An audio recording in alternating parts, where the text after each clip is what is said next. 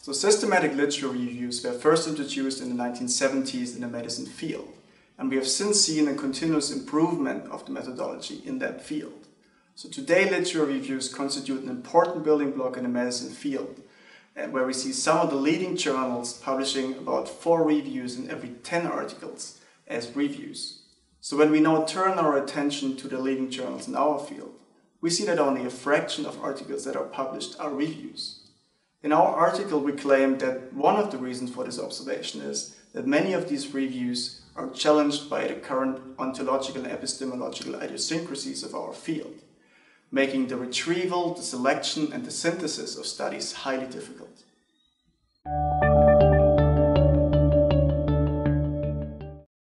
When we talk about ontology and epistemology, we refer to the basic assumptions about reality and the grounds of creating knowledge.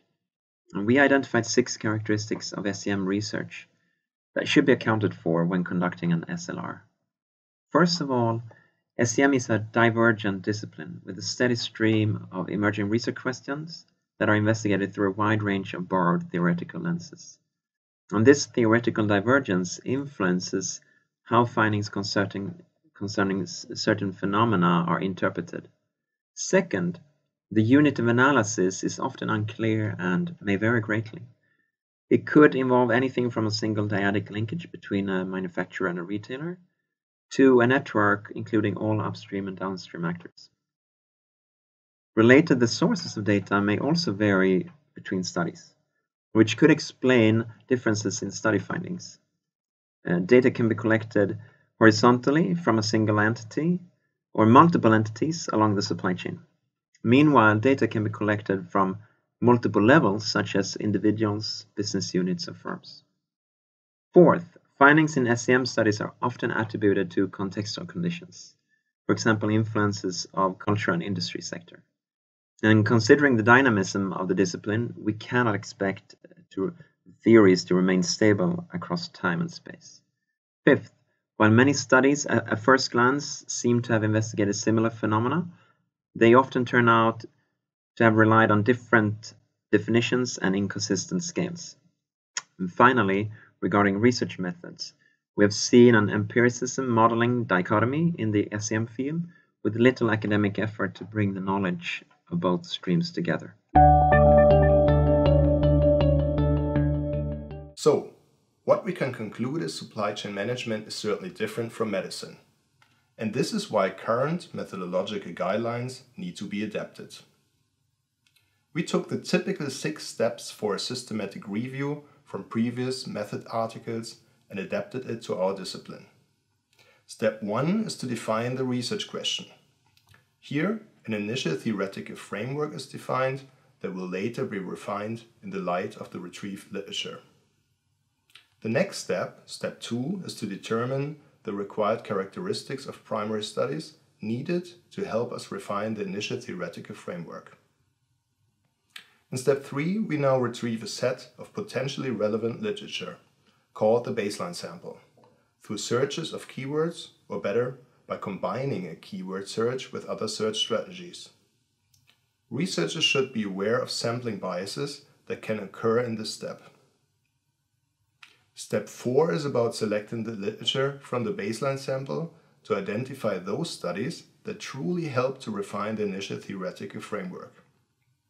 Based on what we have learned from the idiosyncrasies of our discipline's research, we need to reach a finer sample of studies that can truly be synthesized to develop our new refined theoretical insights.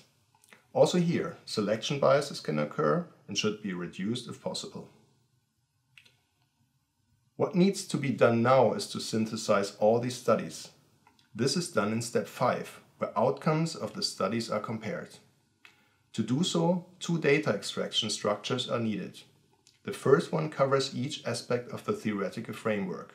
So, here we extract the study findings based on the relationships between variables in the initial framework. The second one contains the study artifacts. That concludes the unit of analysis, the source of data, the study context, definitions and construct measures, as well as research methods. The goal is to integrate all the data to refine the theoretical framework.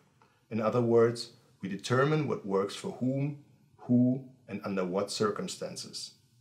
We can now develop propositions to express our new the theoretical insights.